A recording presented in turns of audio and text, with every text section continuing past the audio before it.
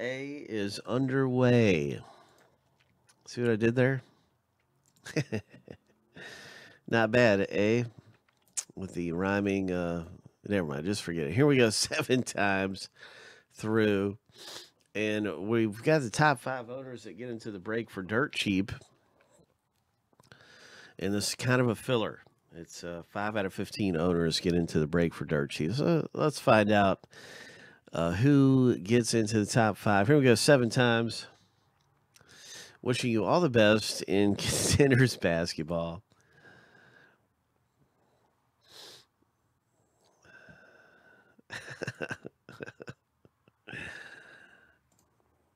Lucky number seven.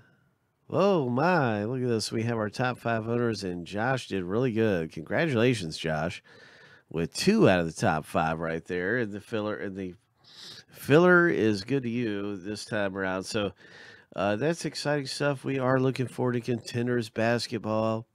We're gonna have a new filler up available.